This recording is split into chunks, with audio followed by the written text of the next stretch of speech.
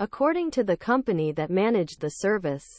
Three crew members in a medical helicopter accident in Oklahoma on Saturday after carrying a patient.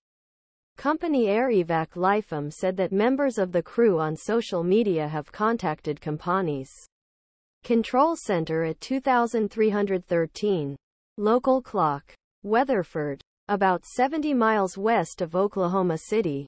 With Arrow, the company said that the crew members went to Weatherford after carrying a patient in Oklahoma City. Air Evac Life Team said he would currently not define crew members open to public and that he turned investigation into National Transportation Safety Board